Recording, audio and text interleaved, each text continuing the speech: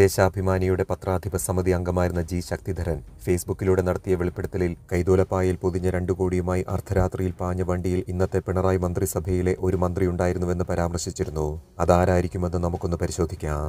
ശക്തിധരൻ ദൃക്സാക്ഷിയായി സംഭവം നടന്നത് തീർച്ചയായും രണ്ടായിരത്തി അഞ്ചിന് മുമ്പാണ്. കാരണം ശക്തിധരൻ എതിർശബ്ദമുയർത്തിയതിന്റെ പകപോക്കലിൽ പാർട്ടിയിൽ നിന്ന് പുറത്താക്കപ്പെടുന്നത് രണ്ടായിരത്തി അഞ്ചിലാണ് മാത്രവുമല്ല പിണറായി സംസ്ഥാന സെക്രട്ടറി ആയിരുന്നുവെന്ന സൂചനയും വെച്ച് നോക്കുമ്പോൾ തൊണ്ണൂറ്റിയെട്ടിന് ശേഷവുമാണെന്ന് ഉറപ്പിക്കാം. അപ്പോൾ ഈ വെളിപ്പെടുത്തലിനാസ്പദമായ സംഭവം നടക്കുന്നത് തൊണ്ണൂറ്റിയെട്ടിനും രണ്ടായിരത്തി അഞ്ചിനും ഇടയിലുള്ള കാലയളവിലാണ്.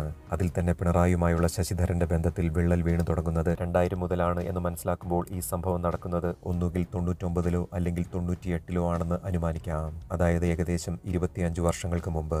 അക്കാലത്ത് എം പി രാജേഷും മുഹമ്മദ് റിയാസും പയ്യന്മാരായിരുന്നു എന്നത് വെച്ച് നോക്കുമ്പോൾ ഇത്രയും വലിയ തുക ഏൽപ്പിക്കുവാനുള്ള വിശ്വാസവും അടുപ്പവും പിണറായിക്ക് ഇവരോട് ഉണ്ടാവില്ല എന്ന സാമാന്യ ബോധ്യത്തിന്റെ അടിസ്ഥാനത്തിൽ സാധ്യതാ പട്ടികയിൽ നിന്ന് ഇവരെ രണ്ടുപേരെയും ഒഴിവാക്കാം.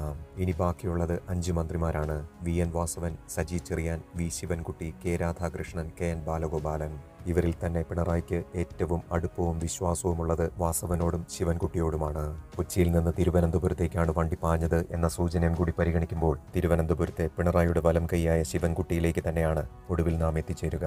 മുണ്ടും മടക്കിക്കുത്തി നിയമസഭയിൽ ശിവതാണ്ഡവമാടി ലോകമെമ്പാടുമുള്ള മലയാളികളെ നാണം കെടുത്തിയ ഭൂലോക മണ്ഡനം കൂടിയായ ഈ എരണം കെട്ടവനെ തന്നെ വിദ്യാഭ്യാസ മന്ത്രിയാക്കിയത് കൈതോലപ്പായിൽ കോടികൾ സുരക്ഷിതമായി എത്തിച്ചതിനുള്ള ഉപകാര സ്മരണയാണോ എന്ന് സംശയിക്കേണ്ടിയിരിക്കുന്നു. അധികം വൈകാതെ ആ മന്ത്രി ആരാണെന്ന് ശക്തിധരൻ തന്നെ വെളിപ്പെടുത്തുമെന്ന് പ്രതീക്ഷിക്കുന്നു.